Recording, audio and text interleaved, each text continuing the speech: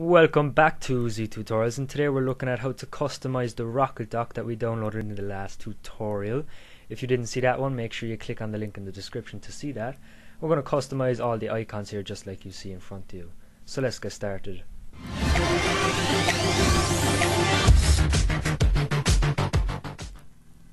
Now all my icons here that you see before you have been customized. Basically you just download them and make them your own. So let's just open up a web browser here. In my case once again it is Google Chrome. We're going to type in RocketDock. The first option there is rocketdock.com.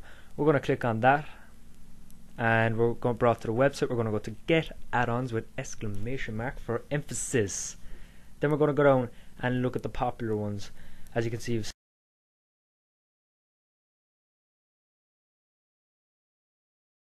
simply dark. So what do we want to do? We'll do the Safari icon there. It looks kind of boring and old, so let's spruce that baby up. Uh, Frostwire was my last search, so let's go into Safari. And it came up with a couple searches, but I like this first one. It says 7 animated icons for Safari. It's rated good, and it's just scroll down to it says download file with an exclamation mark once again for emphasis and it's going to give you this .zip file which means you're going to have to extract, extract it which means you need WinRAR or 7-zip or something like that. So we're going to show this in the folder and I'm just going to paste this onto my uh, desktop so I know where it is. So I just pasted that in. Now we're going to right click and go extract here. And it's going to extract that folder. And right here we're going to go into the folder that contains it. There we go.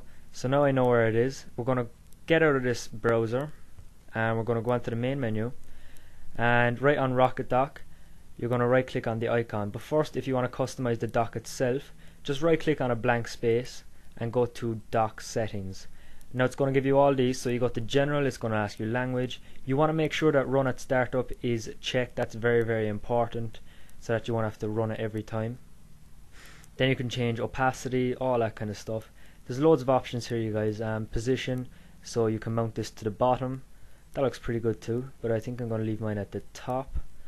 Uh, you can put style, position, behavior, if it bounces or whatever. I like mine bouncing just like the Mac one. So now let's change this icon. So let's right click on the icon and go to icon settings. These are the ones I already have loaded. But if you want to add a new icon like we're doing, the one I just downloaded, on the right here, on the left, sorry, you just click on the plus icon. We're going to search for that little button uh, I think I put it in downloads and it's in not animated.